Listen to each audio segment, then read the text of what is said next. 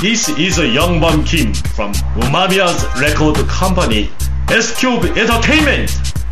I am response to that look Bang's allegations of Umamiya's mistreatment. I would like to say that this is untrue. We love everybody. No member has been abused, starving, mistreated, or made to sing on the street. We have plenty of food and rice for everybody. We are getting ready for Umamiya's comeback next month.